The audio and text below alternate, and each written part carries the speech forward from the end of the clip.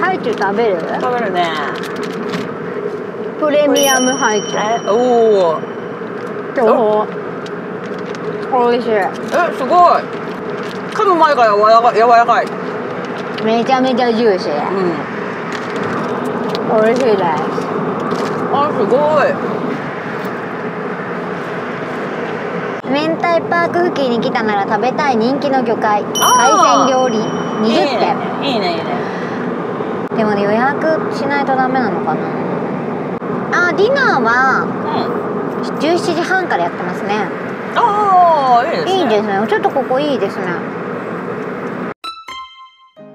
プリちゃんさはい。地元にいる時はコテコテの茨城弁なの？そんなことないです いやでも友達とか先輩とか若干なんだかみんななんかあのねなまってるのはうん。どちらかというとあの年配の方々うんまあね。が結構こんななんか昔でいくとこなんか喧嘩してるみたいな感じ。聞こえ方が。はいはいはいなんとかなんとかでしょなんなんとかでしょ一緒にやみたいなうん感じの喋り方をするのが年配の方、うんなんとかだっぺよみたいな。うで若干やっぱずっと茨城にいるとなまるよね。うちの母は元が福岡の人だから、うん。そんななまらない。で昔 私が「お母さんなんとかだったんだよね」って言ったらうんうん「あんたそんななんとかだっぺい汚い」とか言って「いや茨城に来てますよね」みたいな。怒られたった怒られて「そんなん使うんだったら博多弁使いなさい」って怒られたことがあって。でやっぱ誇りがあるんでしょうね本人的にうん。もでそれをね大きくなってから話したんですよ、うん。お母さんはうこう言ってたじゃん、んうん。そしたら覚えてないって言われましああた だから私そのプロフィールに出身地とかあるじゃない、うだからずっと福岡県にしたの。んはい。実は。そうね。福岡県にしてたそのイメージあるよ。そうなんですよ、うね言うのもそうやって母にだから鉛使うなみたいな、あんただって福岡の血が流れてるんだからうんみたいな、なんかあってずっとそうしてたんですけど、もう母にそれを打ち明けたところ覚えてないって言われたんでじゃあもういいや。みたいなじゃあ別に福岡にこだわらなくてもいいや。みたいなのになりましてまあ茨城ですよ、まあ、で育ったのは茨城ですよ。っていう。生まれたのは間違いなく福岡なんですよ。小倉の病院で生まれてる、まあでも育ったのは茨城県です。っていうのは徐々に徐々に徐々に公開してきました、徐 そうですう。んしてったね。徐々にでその裏は実はそういうことがありました。母に言われてて。あそうだったんだ。そうなんです。そうなん。ですあんた福岡のんなんでそんな茨城の鉛使うの？みたいな怒られて。それをねずっとね心に留めていたところ。止めていたところそんな大したことなかったっていう。あでもあるよね。親に言われたこれをめっちゃ覚えててさすごい気をつけようと思ってうん気をつけててさ、ん大人になってさ、うそれを言ったら本人は覚えてないってやつ。そうそうあるあるあるある。そう。だからそれがまさしくそうだったんですうだから福岡にしてたけどもういいかってなった。それがきっかけです。ん、そうなんだ。そう。なんかね基本的におと友達とか茨城の友達もちょこっとかななんとかだよねみたいな感じ。うん。鉛的にはなんとかでしょうよとか。だからそこまでなまってる若干。であの本当に鉛が強いのは水戸の方がやっぱ強い。あの土浦私の方はそこまで土浦つくばとかはそこまでででも若干やっぱそういうあの昔ながらの人がいるから流されていって流されていくね。ちょっとなまったりはするけど。そうね。そこももともと昔からそんなに鉛はないかな。富山ってどんな鉛なんなん？間それどういう時ですか？違うっていう意味。へえなんかえ？何やろ？う私が絶対違うって答える質問して。え、難しい。え美佐子男？な。ん 難しいその質問。あ美佐子痩せた？あ美佐子痩せた？早いよ。早いよ。早いなんか早い。な？んなんか早い早い。それこそ電話でお母さんと話してる時はがっつり富山弁らしくってでもどれが富山弁かを意識してないから、うん旦那さんとかに「美沙ちゃんめっちゃ富山弁喋ってる」って言われて「どれが?」ってなる。え旦那さんはどちらの方？和歌山。和歌山も和歌山弁ってあるよね。あるっぽい。おでもご家族と会ってそれほど感じなかったけどね。可愛いよねでも福岡って、うんっていうイメージある。ちょっとなんか茨城方面はちょっと強いかも。鉛がそうっぽいね。あらっぺよ。あその言葉尻が強いっていうかね。なんとかだっぺよ、うなんとかでしょうよ、うん。なうお尻がお尻が上がるのかあな、で私はよくゴジャッペって言われてました。んこれじゃっぺ？このゴジャ難しい。このゴジャのこじゃ。おう。このゴジャゴジャッペなんゴジャってバなん一択ババカみたいな。あバカバカめみたいな。なんかあ。私のことだからわ笑いながらなんだお前バカみたいな。あね先生によくそれ言われてました。へえ富山だとダラやね。何？ダラ。うんだらこのだらはアホンダラのダラ。あうん。えー、富山行ってみたいです。富山美味しいでしょ？美味しいよ富山行きたいな。日本酒も魚もそりゃうめえよ。ねいいつ行く？え？いつ行く？富山の三迫旅。富山の三迫旅にいつ行くか問題についてです？今。もしかして。うん。いついつ三迫ハウスに遊びに行けばいい？ああそうだ富山に行こうって思ったら。三迫ママに会ったことないからさそうだっけ？ないないない。あそのことはペイちゃんママは私会ったことないないないない。うちそうなんかニアミスだよねいつもね、うん。会えてない気がする。会わない。でもお互い存在知ってんのよ。そうそうそう今日も美佐子とささあ美佐子ちゃんねみたいな。富山行くなら温泉入りたい。な、うんうんうん。温泉入ってえ。美味しいもの食べて、ええ。日本酒飲んで、ええ何も忘れて寝転がりたい。えいつかないいの。いつがいいですか？なな春とかですか？そうね。一番やっぱ3月4月じゃないですか？富山は、富山ってうなんか美味しいものとかいうイメージがいっぱいなんだけど、ええ。観光ってなんかある？ん山山。山。ザ山。山。山か。山黒部ダム。あーダム。ダムまで行くの大変だわ、あうん、めっちゃ山からロープウェイ乗ってって。黒部ダムは長野側からと富山側あるんですけど、ー金額が安いのは長野側から入る方。うんなるほど。うん、富山は黒部ダムって黒部市にあるんだけど、うん。実は黒部市側から入れなくて立山富山市側から入んないといけないっていう、へ一回山にえっ、とケーブルカーで登ってそっからロープウェイでー行かなきゃいけないんですよね。うん。片道7000円ぐらいかかるんじゃないかな。おー。とりあえず遠いってことだね。あうん。うん。あうん。多分ねあの見返したら分かると思うけど 私への「てんてんてクエスチョン」みたいな顔してると思う。そう結果あ。うん。そうでもねたやっぱね黒部ダムは歴史めっちゃありますからね。行ってみたいねそういうのも含めてめちゃめちゃ。でも黒部ダム行くんだったらやっぱり新緑か紅葉か本当にどっちか。で富山は山っていうのは結構明確に理由があって、富山の人たちねすっごい天気で山綺麗に見える時にわざわざ連絡し合うぐらいその景色にねなんか魅了されてんのよ。山が好きなの？わかんない。でも今日山綺麗だねって連絡するもん。するの？する。えする。筑波山見えても筑波山綺麗だねとか連絡しない？よ あの富山はそれぐらい山がはっきり見えるのが少ないんですよから立山連峰がすっごいすっきり見えてガスってなくて本当にすっきり見えた時は本当に恐ろしいほどの絶景なので今日山綺麗だねって連絡しちゃうね。すごいね。しちゃうしちゃう。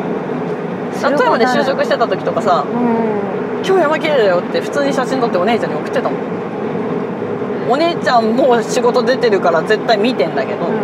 そしたらお姉ちゃんはなんて書いてくるの？綺麗だね。綺麗だねってそうか三姉妹。確かに末っ子だよね。石膏全然帰ってくるよ。そうだ。今日山綺麗って。いいね。兄弟いるっていいね。ああ女子さんにでももうほぼ一人っ子よね。上が10歳違うから。ああーまあそっか、もう私一人っ子だからさ、うんうん。やっぱなんかそういう兄弟でうん。連絡を取り合うとかちょっと憧れる。はあ。でももう近年なってからぐらいだよ本当に。えでもさ結局さその年齢を重ねてうん。初めて分かることとかたくさんあるじゃない。であの時は分からなかったけど今なら分かる。だからこそ連絡取り合いたいみたいなのあるでしょ。だからそれがなんだろうあのちっちゃい頃よりも、うん。その年齢を重ねてからの兄弟っていいよねって思う。あなんか言いたいことわかる？うん、なんかそれもなんか周りもさ見ててもさなんかそういう話を聞くからうん。あいいなって思う。そのそう年を重ねたからこそその女同士とかには限らずよ、この男と女の兄弟だとしても、でも例えば年齢がちょっと離れてて当時はあんまりだったけど今は結構連絡取り合えるとかさ、まあ、逆に近くてずっとそのまま一緒だったけど今だったらもっと深い話ができるとかさ、ね。あるじゃない。あそのエピソードで言ったら8月？うん。ちょっと面白いことがありまして。でうち長女が富山なんですよ。うんうんで次女京都にいて。あそうなんだ。京都とついでで京都にいて。で私7月タイで8月バリ行って帰国 ごめん笑っちゃった。どうぞ続け帰て国して2日後かな？うん。に朝うん8時ぐらいに次女から連絡来て「私今富山なんだ」って言って、でこれから京都帰ろうと思ったんだけどお姉ちゃんに会ってさつって「今からキャンプ行くらしいんだよね」って。うん面白そうだから行くことにしたんだけど「ミサ来る?」って言われたんですよ。えそれ美佐子どこにいる東京。のおうおう。で「ここ?」って言われてリンク来たんだけど岐阜県だけどほぼ福井なの。調べたの。7時間かかったの。うんすごい。うーわーと思って。行けなくはないけどで木曜日だったのねそれが。ん。で金曜の夜に私新宿で仕事入ってるから、どうしようなーって思ったの、うん。そしたら、ちなみに私今日誕生日なんだよねって次女から来たの。おう。うーんとね夕方には着くわって言って言ったよね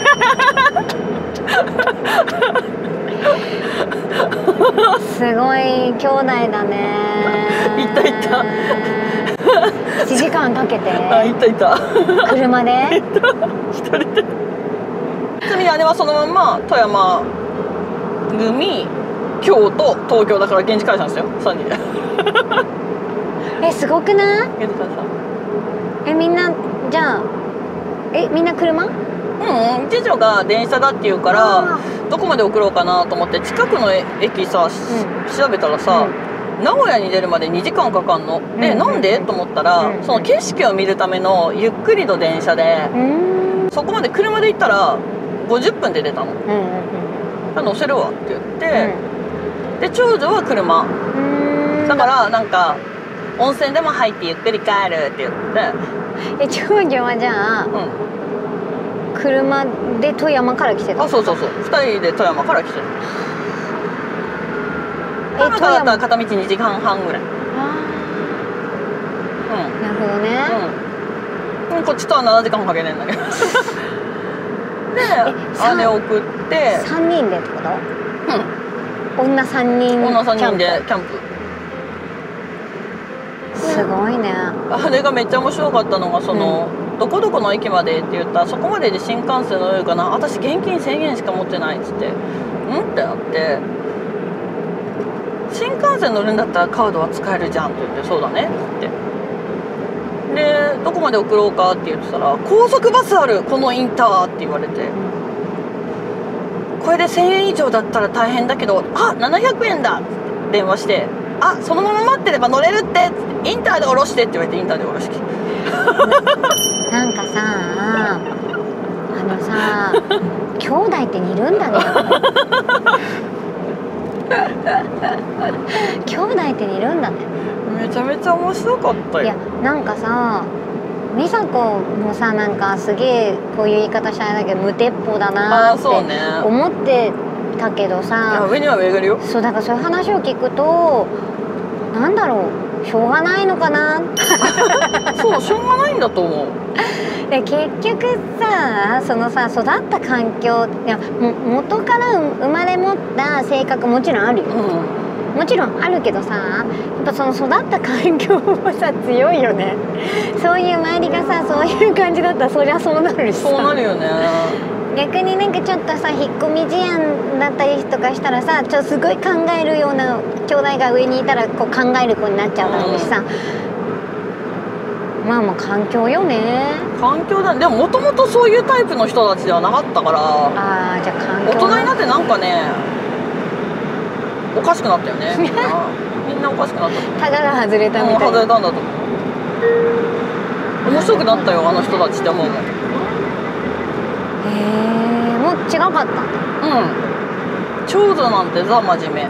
自身はもともとぶっ飛んでた。うー。んだからなんか当初苦手だった。ぶっ飛びすぎて。が。うん。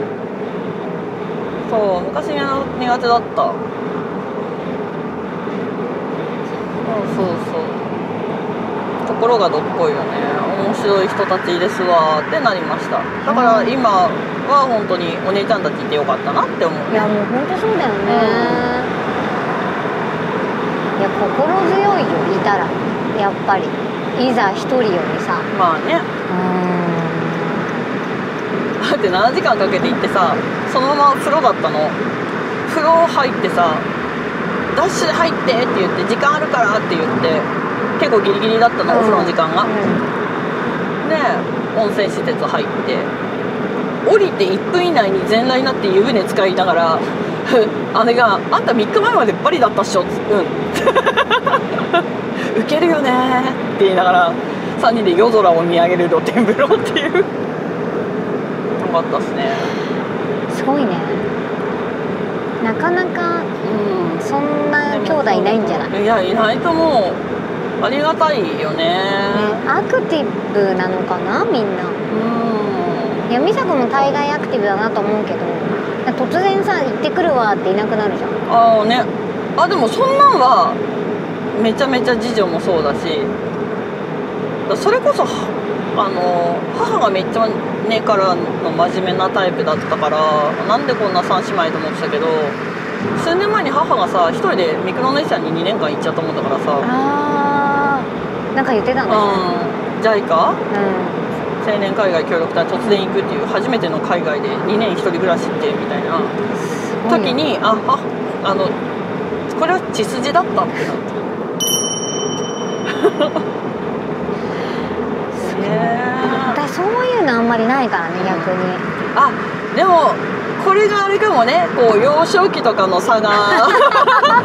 あのこっちとわーってはなってないんで。あの大人になって自由になって自分の責任で何でもできると思った瞬間狂ったんだろうね。私勘違いで狂ったから。そうなんか私ないもん今。今ないね。突然どっか行くとか。そうだねないないかもね。逆にあれよこの大人になってさわーってなったらさやりきるどころかさ可能性が広がっちゃうもんだからさ止まんないのよ。そっか自分で結局自己責任で何でもできちゃうもんね。あそう。そなもんでもう何も問題これ。逆にね。まあまあどどっちもどっちだけどね。親に迷惑かけてるからねこっちはめちゃめちゃかけてますから。お。ここが？ここが水戸大洗インター。ですね。お。もうだいぶね田舎に。はい田舎ですし夕日もいい感じなんですよ今。夕日いい感じだね。バーベキューやろうシーサーマーライオンもシーサーマーライオンじゃないですマーライオンマーライマーライオン。マーライオンではないね。危ねえ。あそっか。マーライオンかもしんないねって言おうとしたけど絶対ちげえわ。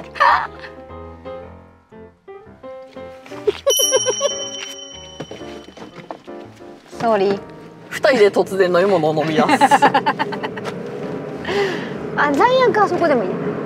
お土産もなんか買えますよインター乗る前にね全部買えっていうね。そうそうそう買ってけってやつね。うん。頭いいね。頭いいよね。そういうの。いや本当にあのここら辺何もないと思います。うちの実家も本当に何もない。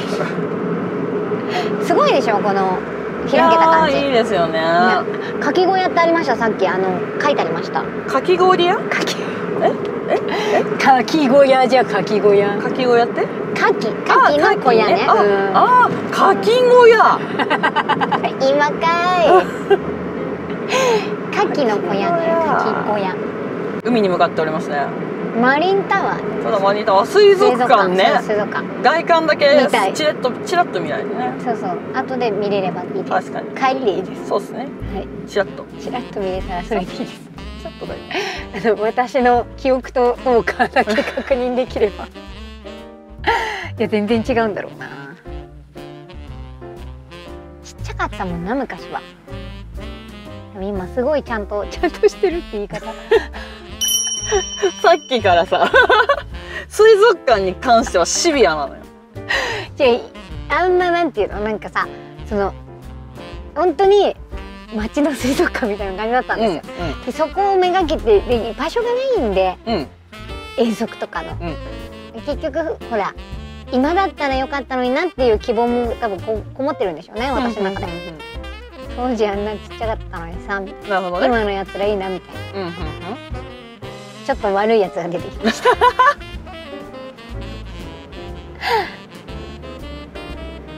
多分そんな感じでしょうねきっとそんな感じだよね。多分ね。